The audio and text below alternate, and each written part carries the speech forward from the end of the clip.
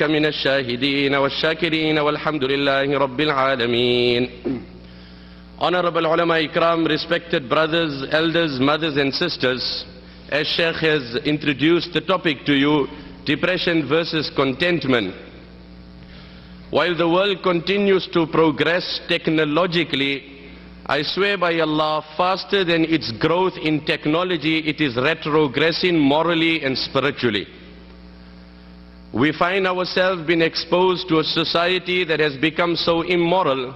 Like Sayyidina Muawiyah radiyallahu anhu said, معروف زماننا منكر زمان قد مضى ومنكره معروف زمان لم يأتي Such deep words, food for thought.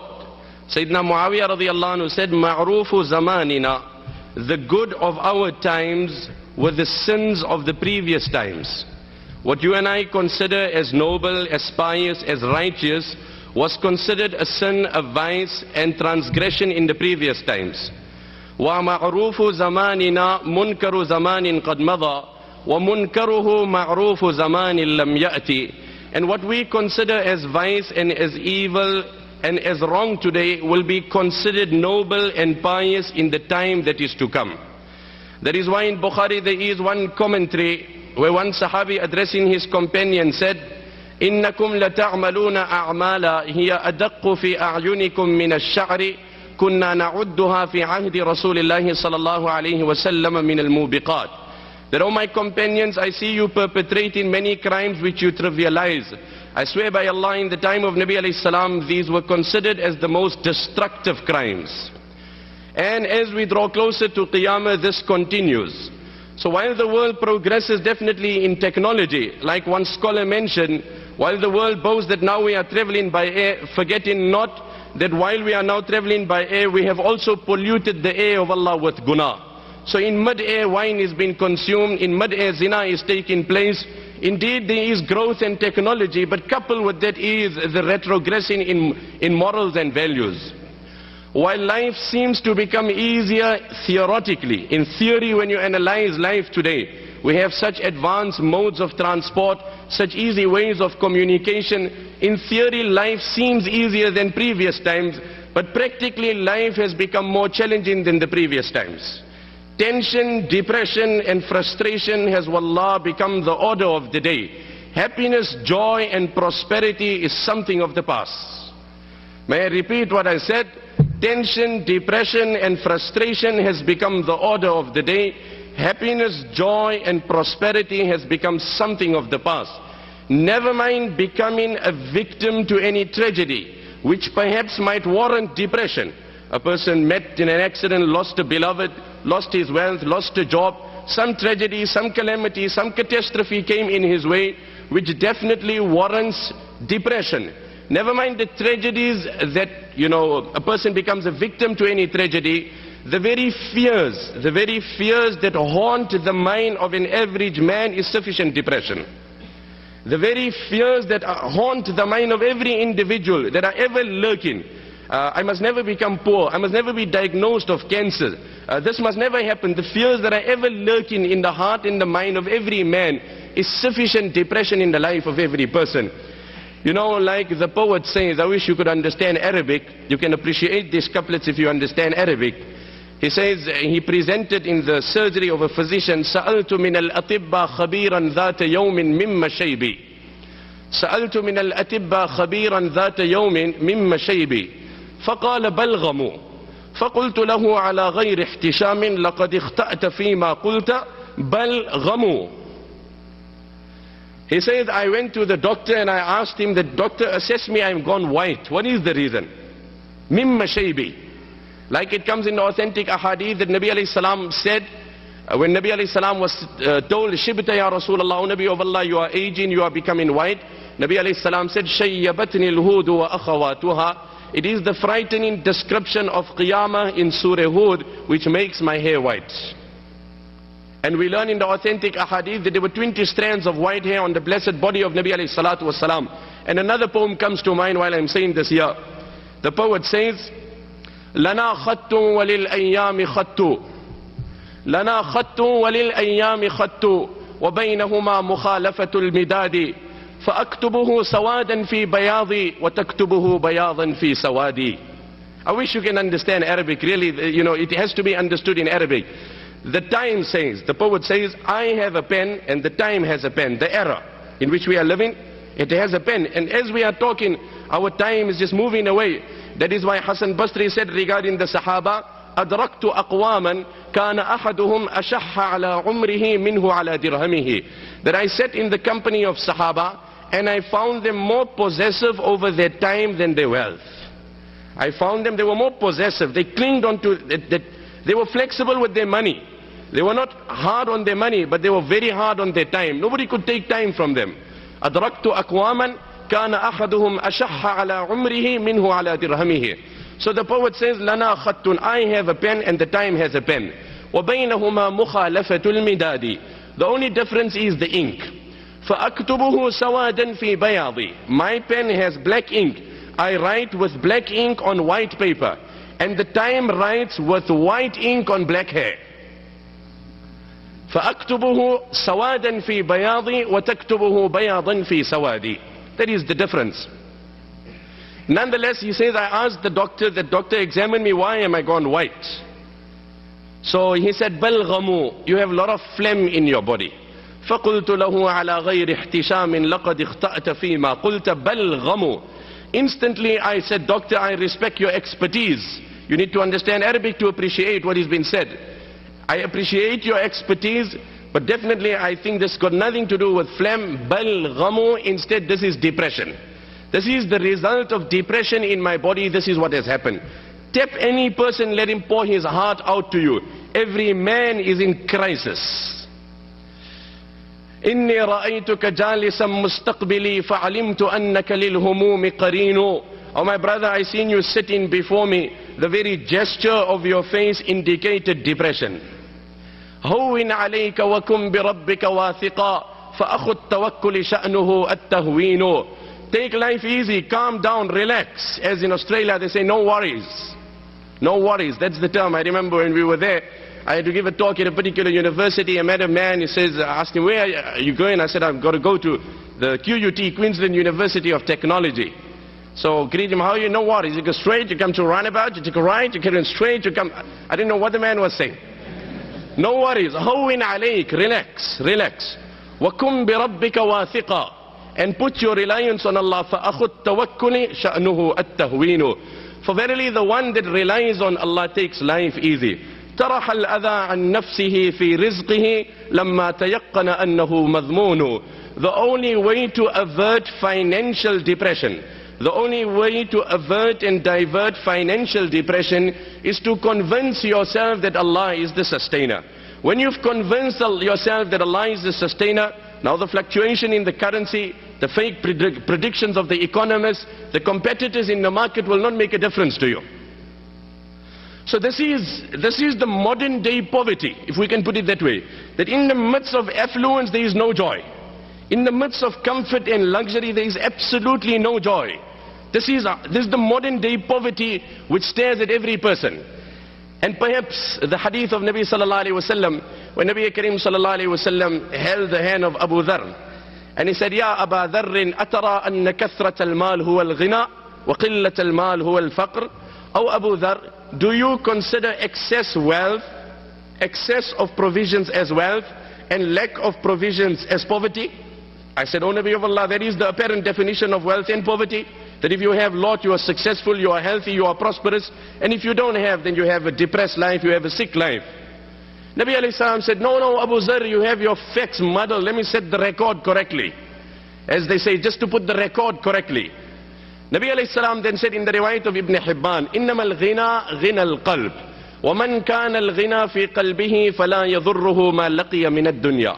No Abu Zar, wealth in essence is the contentment of heart. Wealth in essence is the contentment of a heart and no, no, Niagara Falls and no Victoria Falls can give you that contentment that is divine from Allah. وَمَنْ كَانَ الْغِنَى فِي قَلْبِهِ The one who has contentment in his heart فَلَا يَضُرُّهُ مَا لَقِيَ مِنَ الدُّنْيَا Then no amount of calamities and tragedies will harm this man, will depress this man. Nothing in this world will depress this man. You see, today every man has a different perception of contentment. Every person feels, some feel that if I get married and I have a beautiful wife, I have, that is the goal of my life. That is the aim, that is the ambition of my life. And I foresee my joy in that, in that woman. Others feel if I pursue a degree, I graduate, I earn so much, then that is my particular accomplishment and that is the pinnacle of my joy. Like they say, four people were traveling. Or three people perhaps in a simple example. They were speaking different languages. One spoke English, one spoke Urdu, one spoke Arabic. Someone came and gave them a dollar. Now they had to split the dollar. What are they going to do with the dollar? The one that speaks Arabic, he said, Ana ashtari al-inab. Ana ashtari al-inab. I'm going to buy inab. Okay, the other one that speaks English, he said, no, no, I want to buy grapes. I want to buy grapes. I'm not buying inab. I'm buying grapes. The third one said, no, no, no, mujhe angur kharidna hai. I'm, I'm buying angur. He says, you know, I don't know what's your angur, I don't know what's your inab, I want my grapes. So then came along one person who spoke all three languages. Like, you know, they say, بِقَدْرِ لُغَاتِ الْمَرْءِ يَكْثُرُ نَفْعُهُ بِقَدْرِ لُغَاتِ الْمَرْءِ يَكْثُرُ نَفْعُهُ فَتِلْكَ لَهُ عِنْدَ الْمُلِمَّاتِ أَعْوَانُ فبادر إلى حفظ اللغات مسارعا فكل لسان في الحقيقة إنسان That the more languages a person speaks, the better it is for him. So this person said, you know what, I will resolve your problems. You give me that one dollar and I will get your angur, your inab and your grapes for you. I'll do everything. He went, he bought a bunch of grapes and he came and gave it. He says, this is your angur, it is your grapes and it is your inab. So the expressions are different, but the common thing is peace. Every man is searching for happiness. Every person is searching for inner contentment. And wallah, Allah has not kept in the capacity of the things of this world. You take a child, you give him an item, he fancies it for a period of time and the next day he is tired. Allah hasn't kept in the capacity of this world anything In the capacity of this world to satisfy this restlessness of man, this crave of man, this ego of man. We continue with the hadith of Nabi sallallahu alayhi wa sallam. وَمَنْ كَانَ الْفَقْرُ فِي قَلْبِهِ the one who has greed in his heart, the one who has contentment in his heart, nothing of this world, nothing. It is a perception that if you're healthy and you're wealthy, you are content.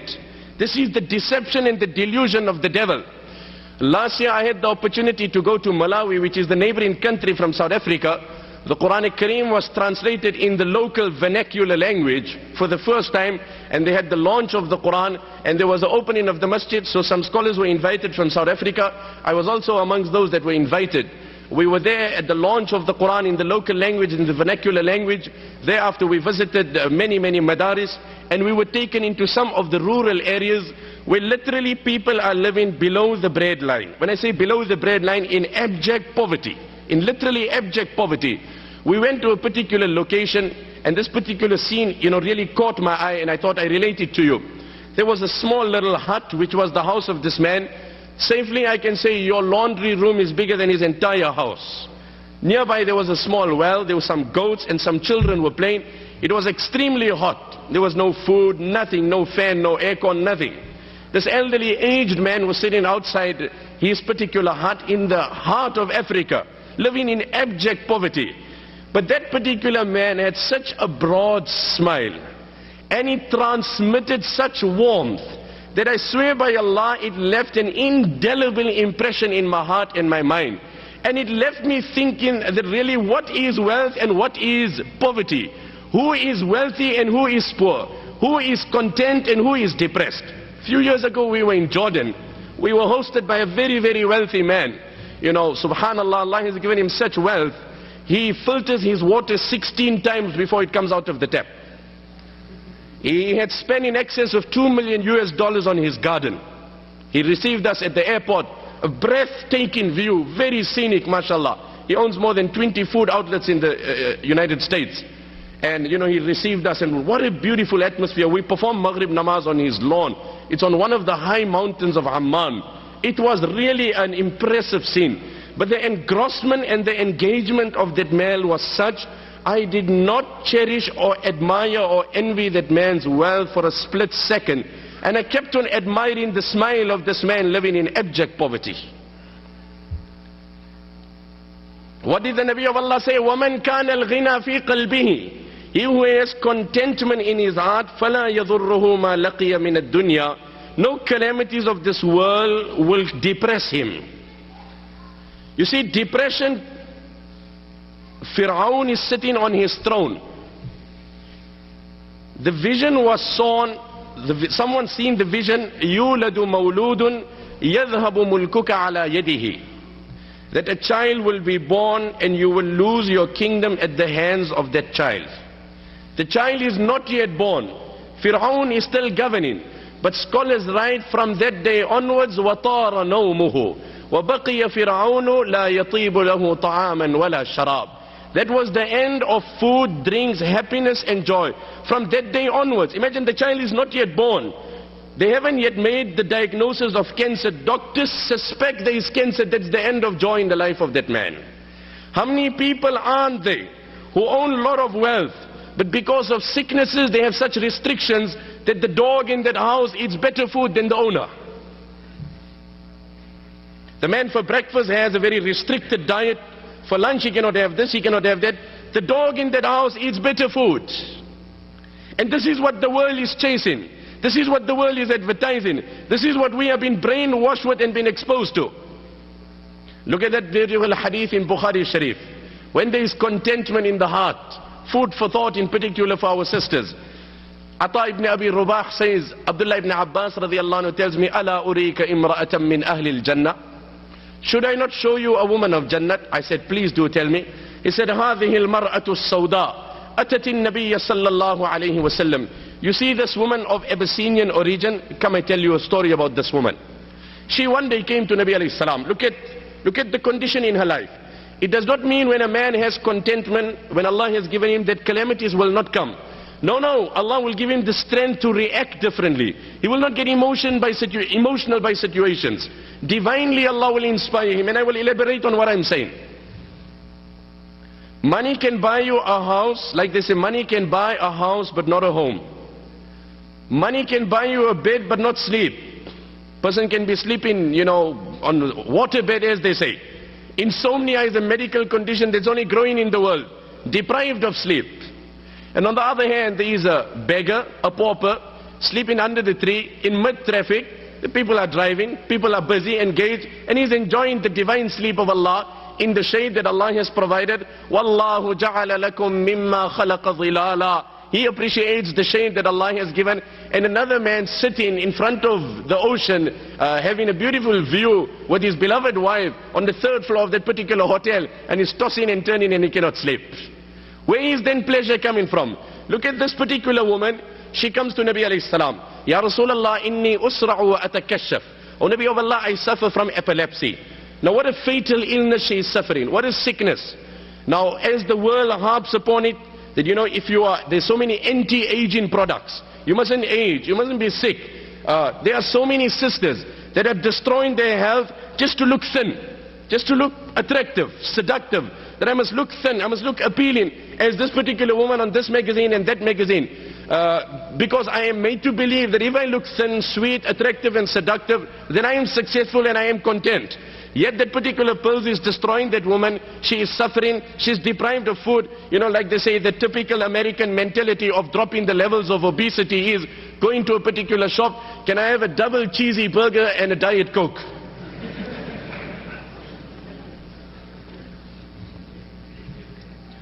Why the levels of obesity are too high, so I'll have a Diet Coke with a double cheesy burger. So anyway, this woman comes to Nabi Kareem sallallahu alayhi wasallam, Ya Rasulullah inni usra. Subhanallah, look at contentment. I swear by Allah, it comes divine from Allah. O Nabi of Allah, I suffer from epilepsy. And when I have these attacks, my sitter is exposed. Could you perhaps make dua to Allah that Allah cures me? Now what a tragedy in a life. It warrants total depression. Subhanallah, what are the teachings of Nabi Kareem sallallahu alayhi wasallam? The Nabi of Allah, one was to lift his hands and instantly make dua and Allah will respond positively and cure the woman. But the Nabi of Allah gave her a choice. In shi'ti da'awtu Allah an yu'afik. Wa in shi'ti sabarti walakil jannah. You have one of two choices. If you so wish, I will make dua to Allah now. He will cure you instantly, permanently, totally. On the other hand, if you endure, persevere, and exercise patience, I promise you Jannat is yours. Now in, in, in today's terms, when a person understands that sickness means depression, it means uh, medical expenses, it means burdening the family, it, it entails a host of other things. Naturally a person is so desperate for cure, he'll do anything and everything. Another one, while I'm speaking about this, another hadith comes to mind. Aisha Fatima radiallahu anha comes home, she is hungry. Ali radiallahu anhu is hungry. What the world has painted as depression, and what Islam tells us with regards to contentment. There is absolutely no food. Now a person is living in difficulty, is some financial problems. Again, this warrants depression. You find today most of the circular degrees that a person pursues is in relation to his monetary return. Most of the things, a person is becoming a doctor, very few are those whose aim and whose ambition is to serve humanity. It might be a sideline, uh, you know, option, but the primary reason, the priority in pursuing that particular is the monetary returns. What will I get back? By giving so much, how much do I get back? These are the reasons why, because why? The perception is the day I have wealth, I am successful and I'm content. I am happy the day I have wealth. That is the end of sadness, depression. And that's apart from the depression which is as a result of guna, and I'm coming to that still. I swear by Allah, the greatest contributing factor to depression is guna. Ask that young boy who after he takes a pill and he's on a buzz and he's on cloud nine and he's safe, you know, floating somewhere else, as soon as he becomes sober, he goes through such depression that he's left with one of two options. Either he commits suicide or takes a pill again. There's no other choice in the life of that young boy. I personally have dealt with many youth involved in drugs. Perhaps while perpetrating the crime he enjoys fake pleasure. But no sooner he becomes sober, he goes through such depression. My Nabi sallallahu alayhi wasallam said in the hadith, prophesying the things of Qiyamah, a man will come to the grave, to the grave of his brother, not to respect the deceased, not to come and convey thawab to him. يَتَمَرَّغُ he will then turn in the soil of the grave and he will say, Ya laytani kuntu makana sahiba hadha al-qabr. My brother, I envy you, you are gone. I promise you, I cannot bear the calamities of this world any longer. I wish I was beneath the soil and you were above the soil. In the midst of all the comforts that he has, أَلَا مَوْتٌ يُبَاعُ فَأَشْتَرِيهِ فَهَذَا الْعَيْشُ مَا لَا خَيْرَ فِيهِ Someone said, I wish, can you tell me someone is selling death? I want to buy death. I'm frustrated with life. I have come here with all the comforts, all the luxuries, all the affluence. Like in Urdu they say, اب تو گبرا کے یہ کہتے ہیں کہ مر جائیں گے مر کے بھی چین نہ پایا تو کدھر جائیں گے Now in a fit of frustration you say, I wish I die, I wish I die, I wish I die. And then they speak of euthanasia, mercy killings. अब तो घबरा के ये कहते हैं कि मर जाएंगे You take any youngster to a rehabilitation. When he's been admitted in that particular rehab, the first thing they ask him as the symptoms of drugs, did the thought of suicide cross your mind? That's amongst the first things. This is nothing, these antidepressant tablets, you know they have antidepressant. I give this example, perhaps I share it with you. It's nothing, that is escapism. You are hiding the reality. You are disguising and camouflaging. You are not solving. You are not soothing. You are not unwinding. You are not relaxing. It's like a person went to a particular motor mechanic. He had a problem in his car. Says, you know what, as I'm driving, there's this very strange and peculiar sound coming out. And I can't trace the problem. So the motor mechanic had a look at the car, uh, but he couldn't trace the problem. He says, you know what, I can't really find anything, but I got a way out. I can solve the problem for you. If it really bothers you while driving, just put your radio a bit louder. If the noise bothers you, just put your radio, and I promise you your problem will be solved without any money. I won't take a cent from you. You just turn the volume a bit louder and that's it. I swear by Allah, that is antidepressant tablets. You have solved no problem. You have only camouflaged it, you've disguised it. The problem remains. Become sober and it's worse than what it was. There is antidepressant tablets. The riwayat of Bayhaqi, Nabi alayhi salam said, La hawla wa la quwwata illa billah is the cure of 99 ailments, the least of which is depression. The least of which is depression. Inna sadaqat as-sir tutfi'u ghadab al-Rabbi. Let me complete that hadith. Fatima radiallahu anha comes home. There is no food. Now what happens to a man today again? The perception is that when there isn't wealth, when there isn't food, when there's sickness, these things warrant depression. In Western circles, what happened to people in this situation? So anyway, Ali radiallahu anhu tells Fatima radiallahu anha that go to your father and ask him if there is some food. Fatima radiallahu anha comes to the house of Nabi sallallahu alayhi wasallam. How did they react to situations? Sometimes it's just a change of attitude. It's not the change of condition, it's the change of attitude that brings pleasure to life. Fatima radiallahu anha comes and knocks on the door. Umm Ayman radiallahu anha is seated by Nabi alayhi salam. From the very tone of the knock, Nabi alayhi salam said, Inna hadha ladaqqu Fatima. This is my Fatima knocking at the door. ولقد أتتنا في ساعة ما عودتنا أن تأتينا في مثله. And my Fatima has come on a strange time.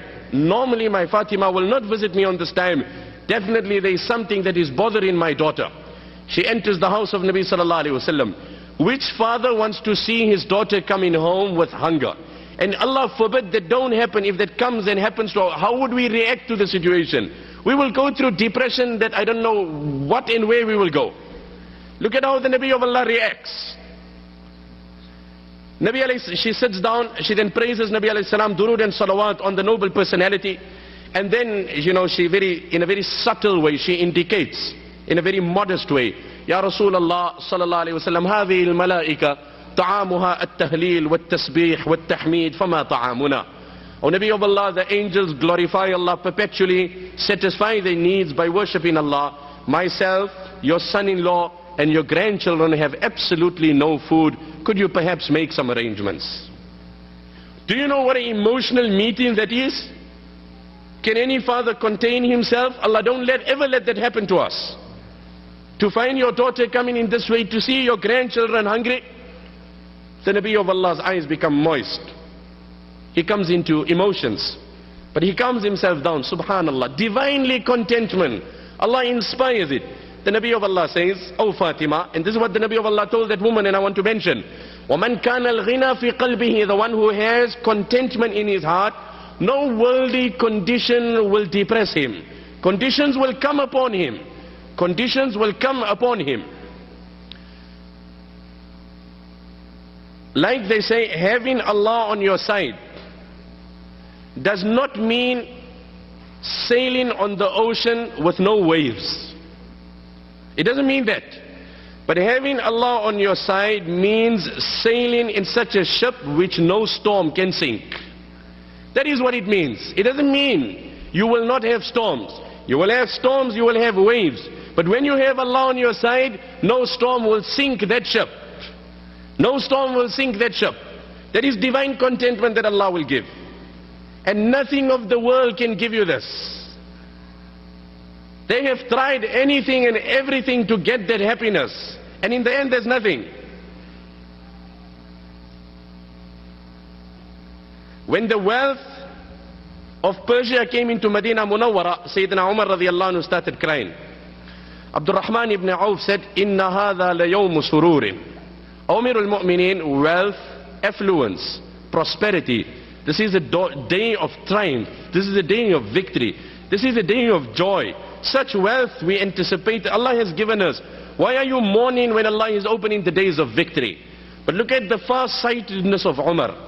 How deep his sight and how far his vision was. He said, إِنَّ هَذَا الْمَالِ لَمْ يُعْتِهِ اللَّهُ قَوْمًا إِلَّا أَلْقَى اللَّهُ بَيْنَهُمْ عَلَى الْعَدَاوَةَ وَالْبَغْضَاءِ Study the history of affluence. What did Sayyidina Umar say? Study the history of affluence. Whenever it came to a nation, it divided them. Whenever it came to a nation, it snatched joy from them. It took inner happiness. There were times when one person were working and 10 people were living and everybody was happy. Today 10 people are working, end of the day not one is happy. End of the month not one is happy. This is the modern day poverty. In the midst of all comforts and luxuries, there is no happiness, there is no joy. The object of nikah is that when you look at your wife, it must put an end to depression and not start depression.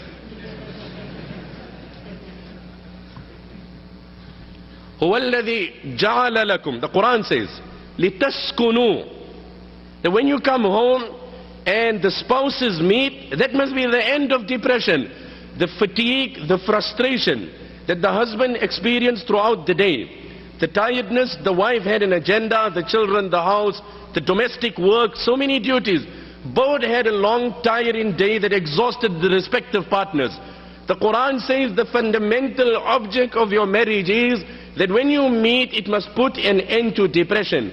If you are meeting with your spouse and it is starting depression, I swear by Allah, even if you live in, in, in a palace and in affluence, the very fundamental object of that marriage is forfeited.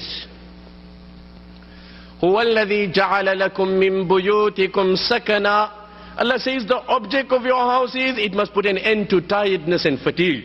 Today no man can sit at home. They just want to go out. Come weekend run. Come holiday go. If your house, if your house can't give you comfort, then uh, better than that is a hut. The Quran says the object of your house is it must bring inner joy, inner satisfaction, that there's no bounds, no restrictions, no, no, no formalities. You can relax yourself. You can sit as you want to. You are free and at liberty. If your house cannot contain you, cannot attract you, in English they say the one that doesn't find joy at home will find it nowhere. The one that does not find joy at home will find it nowhere. So the Nabi of Allah then tells his daughter, O Fatima, if you want, I will give you five sheep which someone brought and gave to me. I give it to you. You take it home, slaughter it and eat it. And if you want, علمتك خمس كلمات علمنيهن جبريل. or otherwise I teach you five words, five ayat, five du'as, which if you recite will soothe you, satisfy you, your hunger, your depression, your pain, your agony, today, tomorrow when your father is around and when he's gone. We learn from these ahadith that there is a price for this divine joy. There was nothing wrong for the Nabi of Allah to say, yeah, my daughter, take the sheep also and take the du'as also. But he didn't do that. He said, take the sheep or the dua, one of the two. Bearing in mind this is a father who sees his own daughter hungry. There is no words of any language that can translate the emotions of such a father. And Fatima, whom my Nabi loved the most, Man ahabbaha faqad ahabbani وَمَنْ آذَاهَا فَقَدْ آذَانِي Whoever loves my Fatima loves me. Whoever dislikes my Fatima dislikes me. Hassan and Hussein, the coolness of my eyes. She said, O Nabi of Allah, I will prefer those five words. I will prefer it. Nabi alayhi salam says, okay, then say after me, O my daughter, Ya awwal al-awwalin, wa ya akhir al-akhirin, wa ya rahim al-masakin, Ya ذا القوة المتين Ya أرحم الراحمين She takes this, she reads this, she goes home, she returns to her husband. Imagine your wife send you with a shopping and you come back with a dua.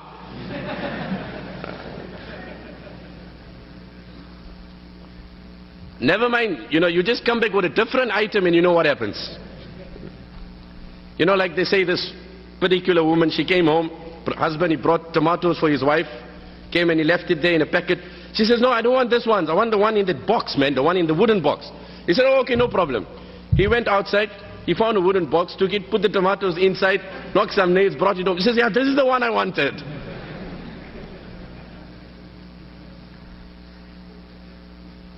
Anyway, she comes with dua. Now what I'm saying, these are situations that bring depression to us. I don't know, has the tragedies of our times become more or has our forbearance levels dropped more? Petty, petty things today, trivial things, a man goes through depression. And immediately, you know, he needs to do this, he needs to go, you know, he's back onto his drugs, he's doing this, he's doing... Trivial, trivial things and a person cannot contain himself. Petty issues and a man is divorcing his wife. And subhanallah, look at this condition. Husband, wife and children, all are hungry. She comes home, she reads the du'as to her husband. The husband is happy. The children, they soothe the children. The children are too young, too tender to fathom, to appreciate. But how Allah gave contentment to Fatima through this dua, Fatima's hunger was the price of this contentment. I said it on a full stomach, my brother, you heard it on a full stomach. Neither I can appreciate what this dua can do, neither you can appreciate. I and you both will have to collectively knock the door of Fatima to understand the hidden tranquility that Allah has kept in this dua. Neither I nor you, the tranquility that Allah has kept and how soothing this dua is, that we'll have to ask Fatima, her hunger and the hunger of her husband and her children, collectively was the result of the divine tranquility that Allah provided to her. Like they say, this person was sitting and relaxing. So someone said, get up and do something good in your life, man.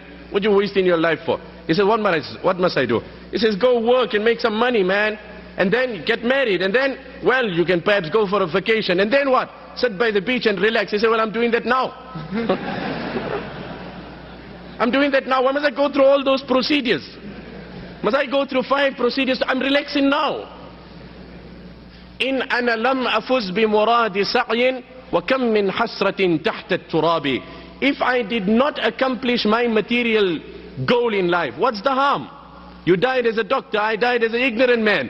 But then we entered through one door.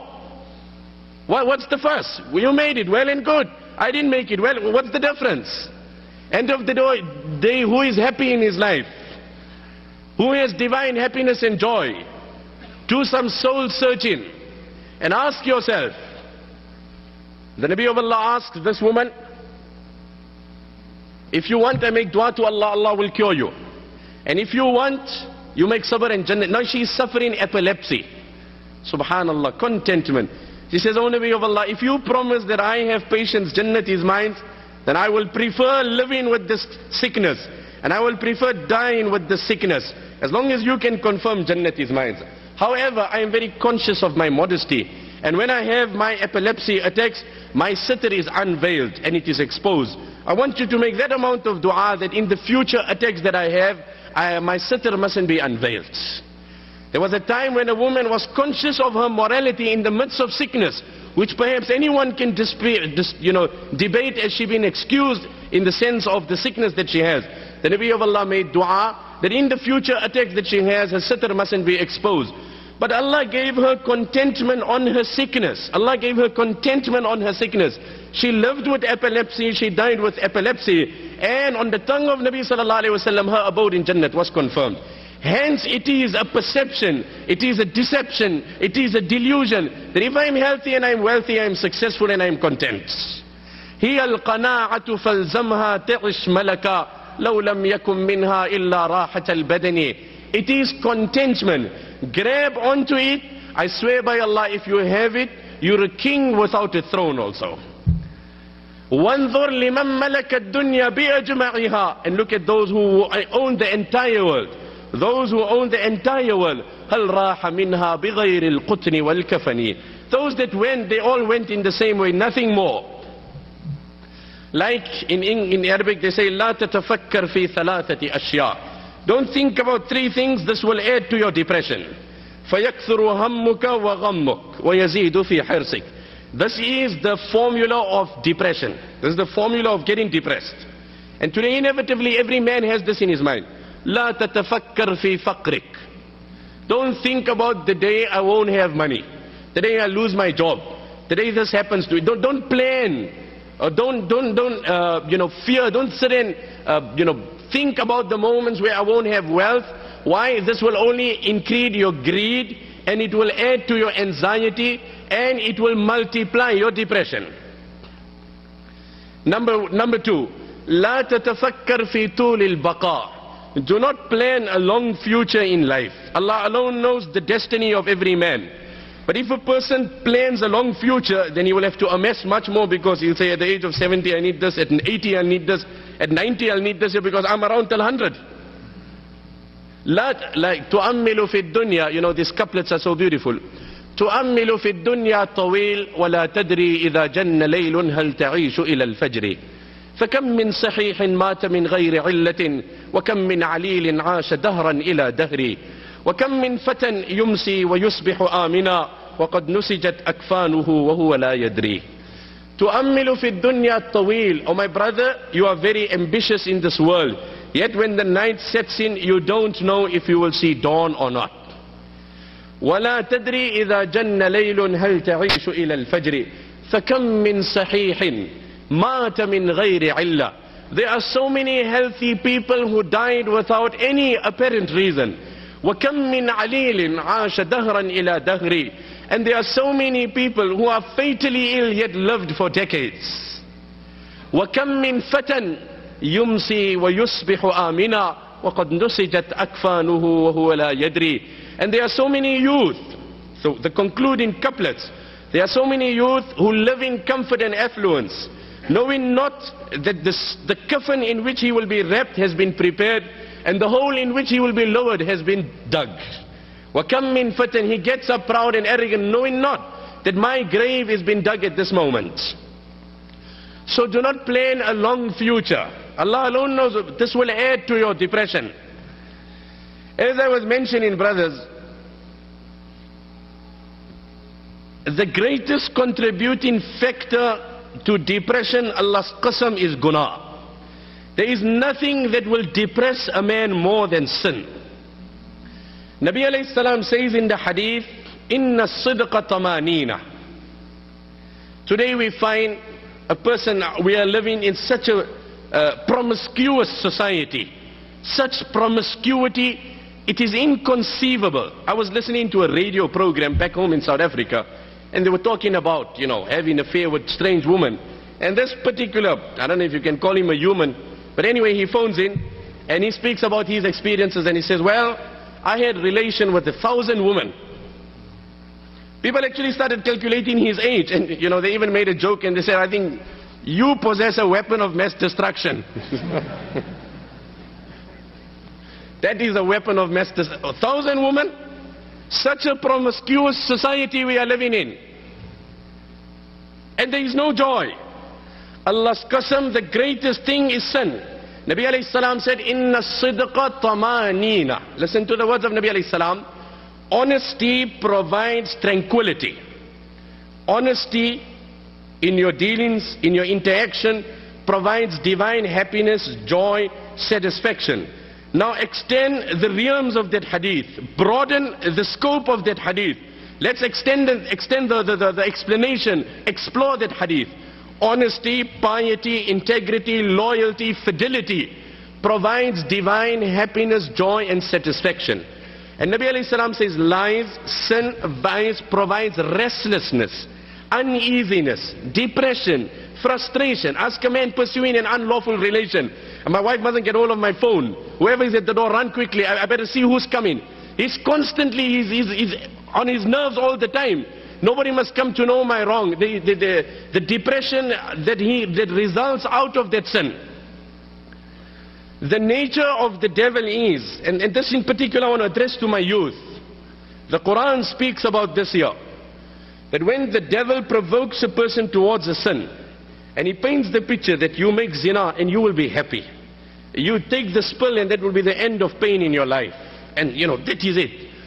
كمثل الشيطان إذ قال للإنسان اكفر. كمثل الشيطان إذ قال للإنسان اكفر. فلما كفر قال إني بريء منك إني أخاف الله رب العالمين.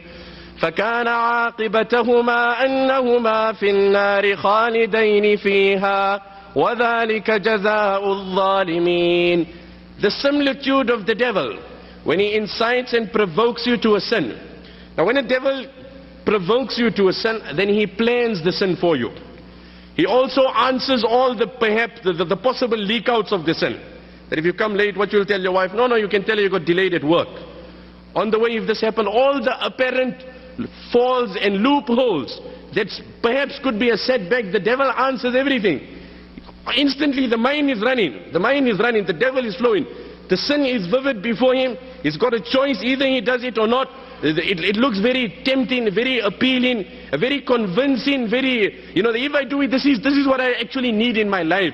It will be the end of this depression and tiredness and fatigue and whatever else as it is. A beautiful massage, you know, by, by gentle hands. What more do I need? So the devil provokes him up. And the devil says, do it, and I'm with you, all the way. And look here, after all, when the brothers of Yusuf intended killing Yusuf.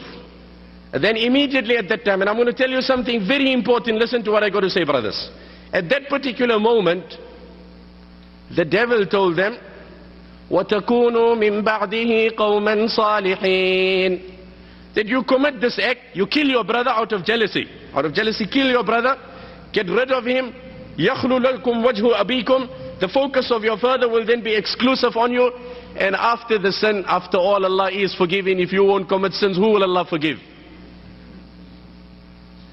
Scholars explain to think of the mercy of Allah prior to committing a sin.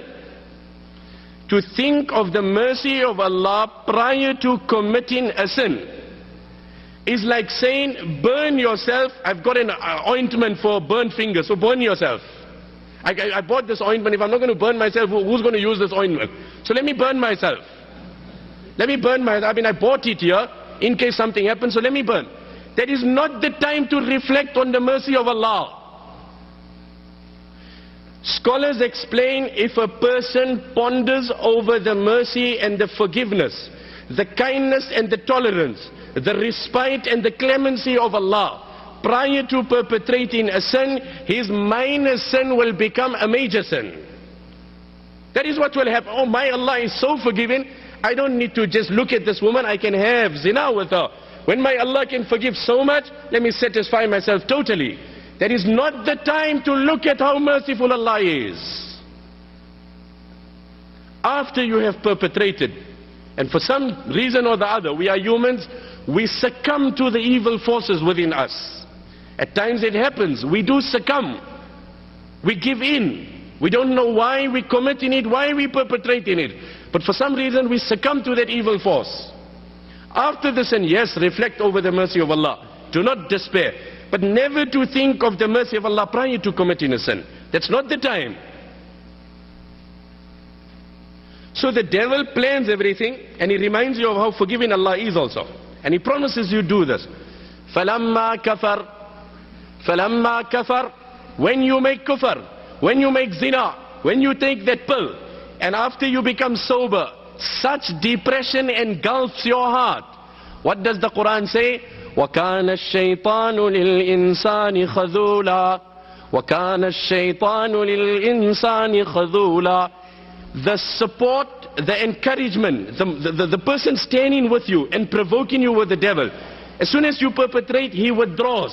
The Quran says, Khannas. Min sharril waswasil khannas. Khannas, O Allah, I seek your evil from the sneaking whisperer who comes, sneaks, withdraws, sneaks, withdraws. So after you've perpetrated the crime, he withdraws totally. I'm not with you. Now you do what you... Inni akhafullah. I got nothing to do with you. Now you, tough luck to you, my friend. You did it, you suffer it. The only way I can join you again is if you go back to that woman. If you take the pill again, I stand with you. Hence, you will see a person committed a crime to satisfy himself. One after the other. He went deeper and deeper, deeper. You know, like they have that bungee jumping, you flow one way. He goes deeper and deeper into that sin and there's no way he's coming back. Life looks so dark for him, there's no way out. In the battle of Badr, Shaitan came to Abu Sufyan in the form of Suraka as the leader of the tribe of Kinana and he told him وَإِذَا زَيَّنَ لَهُمُ الشَّيْطَانُ أَعْمَالَهُمْ وَقَالَ لَا غَالِبَ لَكُمُ الْيَوْمَ مِنَ النَّاسِ وَإِنِّي جَارٌ لَكُمْ I am with you. Don't worry, I will support you, I will encourage you, I will help you, you will defeat the Muslims.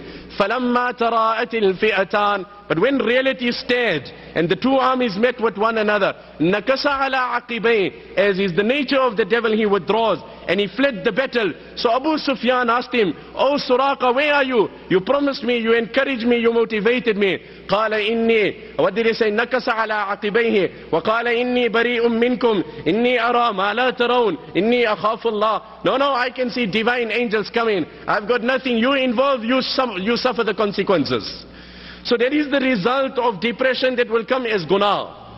It will never come to an end. And scholars write, worse than that sin is four things. أربع بعد الذنب شر من الذنب الاستصغار والاستبشار والإغرار uh, After committing that sin, to consider it as trivial is worse than the sin. After committing the sin, to rejoice over the sin. That you rejoice over the calamity you have done, over the sin you have perpetrated. Nabi alayhi salam says in the hadith, كُلُّ أُمَّتِي مُعَافًا إِلَّا الْمُجَاهِرِينَ Allah is prepared to forgive every person, with the exception of those that sin openly. With the exception of those that sin openly. And amongst those that are guilty of sinning openly are people who sin by night secretly. They sin by night, وَقَدْ بَاتَ يَسْتُرُهُ رَبُّهُ And Allah conceals the man's sin. He does a sin, commits zina, takes a pill, does whatever wrong. And then in the morning he gets up and he doesn't rest until he doesn't unveil the veil of Allah. And he goes and says, I enjoyed this woman and I had this wine to bring this pleasure. Such a man has committed a crime which is unpardonable in the eyes of Allah.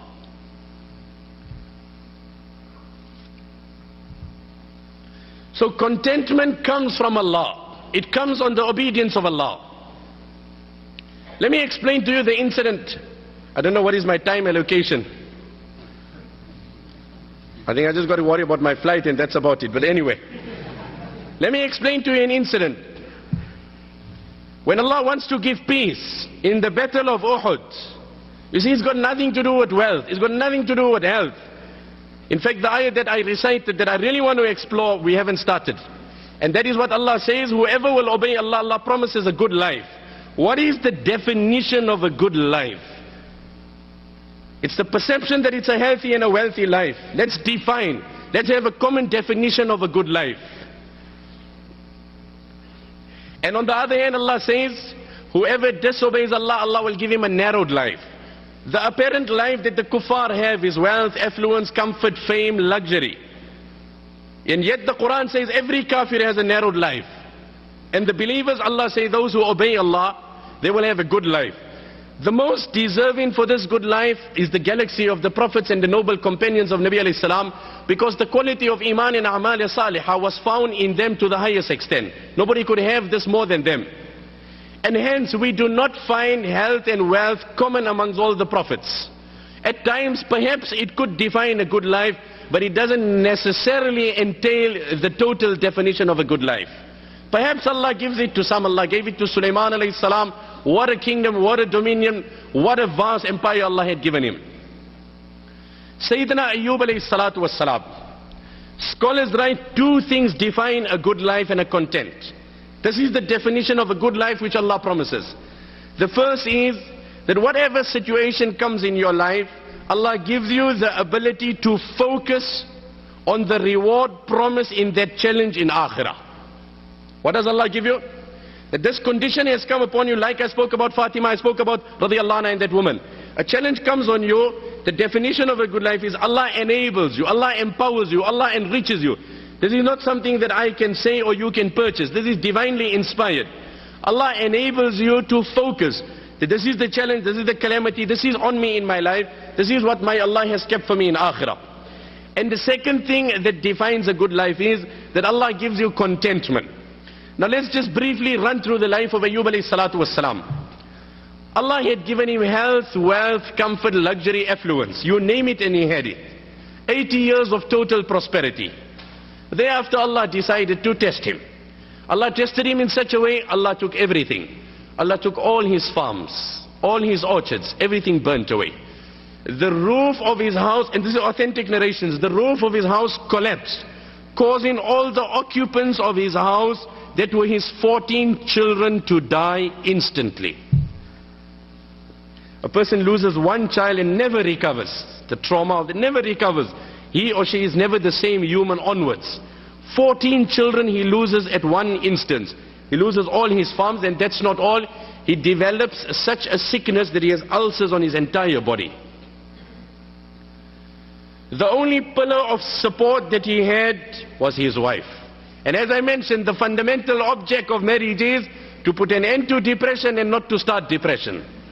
The Quran says, ومن آياته أن خلقكم من أنفسكم أزواجا لتسكنوا إليها وجعل بينكم مودة ورحمة The primary reason behind marriage is that it puts an end to depression, it puts happiness, joy, solace and bliss.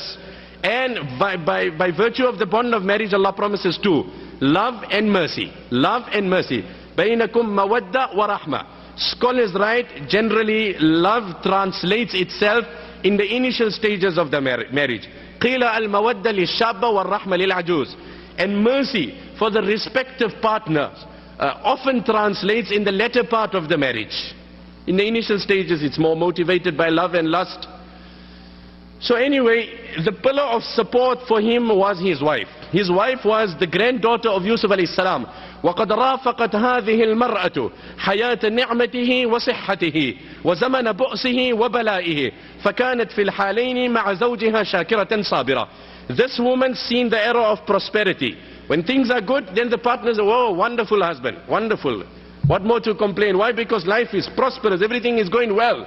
But when difficulties comes, when challenges sets in, now this is the time to support your partner. More than often in Western circles, these marriages dissolve. Why? Because there are challenges. But look at through this bond. When Allah gives contentment in the midst of difficulties, what joy there is. Like, I must, subhanallah, you know, they say in Arabic, أهل الليل في ليلهم ألذ من أهل اللهو في لهوهم. أهل الليل في ليلهم ألذ.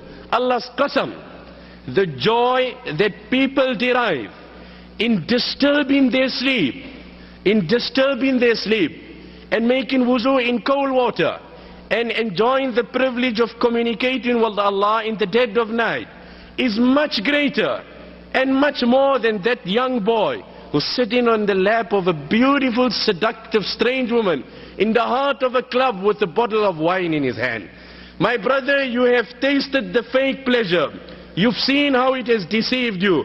I call you in this gathering and I invite you and I implore you. I introduce you to divine pleasure. I introduce you to spiritual pleasure. Wallah, there is such pleasure in salah. A time may Allah favor you with it, one and all. that that moment comes in your life, Allah's qasam. I don't want to sit and, you know, it's, it's not something I want to mention. Where you will go in sajda. And I promise you, you will derive such pleasure. Allah's qasam in His control is my life, you won't able to lift your head up. May Allah give it to you, say Ameen. I promise you brothers, I can tear and say it. There are those moments which Allah gives. رَجُلٌ ذَكَرَ اللَّهَ خَالِيًا You know, one is you crave for a woman, you crave for a pill, you crave for a sin, and one is you crave for Allah. It's not even a correct term and phrase to use. You know, it, it has filthy connotations, crave. But you love Allah and you sit in sajda and, and you feel the presence of your Allah and you feel that closeness to Allah that you, wallah, I swear by Allah, you can't lift your head up. You, you just cannot. It, it's like you, you're stuck. There's something between you and your Creator. You'll forget that fake pleasure. أهل الليل في ليلهم ألذ من أهل اللهو في لهوهم it comes in the Hasha of Tafsir Uthmani, this quotation, that the joy of those that obey Allah and their pleasure. Uh, Imam Yusuf Rahmatullah used to say, if the kings knew the pleasure we got in reading kitab, they would throw their kingdom and they would study kitabs. They would abandon, you know, I often have this and I, I share this as a sense of joy. When you study in a kitab at times till late, and you come across some new, new point, some new hadith, something that you could perhaps convey, it's such joy. I can't, I don't know how to express it. Where you, you've discovered a new point, a new tafsir, a new commentary. You've arrived at a new conclusion. And it's midnight and everyone is sleeping. And subhanallah, you come to a conclusion and you, you, you know, deduce some point. It is a pleasure which I cannot translate in words. So what happens to Ayyub alayhi salam? The pillar of support was his wife and she stands by his side. She stood in the days of prosperity as, the, as well as the days of difficulty. But as life continued, seven years of difficulty, Ayyub alayhi salam, the sickness took a toll on her. We often sympathize on a person that is sick. We forget to sympathize with those living with a sick person. At times they need more sympathy than the sick person. What about those that are living with a sick person? So it started taking a toll on her. Seven years lapsed. She comes to her husband. She says, don't you think it's high time you make dua to Allah that now He cures you and you know once again restores your health and we can see prosperity again. The tunnel is dark, it's raining, it's pouring, life is narrowing upon us. Don't you think perhaps if Allah can open up things in our life and we have a more brighter future? But this is a Nabi of Allah. He asked his wife, Kam labithtu fir raha. Oh my wife, how long did we enjoy health and prosperity? So she said, Thamanin, 80 years, 8 decades. Kam labithtu fil bala. How long did we live in difficulty and how long am I sick and how long is it since we lost our children? So she said, it's seven years if I recall correct since this difficulties came in our life. So Sayyidina Ayyub said, Ama astahi an atlub min Allahi raf'a bala'i wa ma qadaytu fihi muddata rakha'i.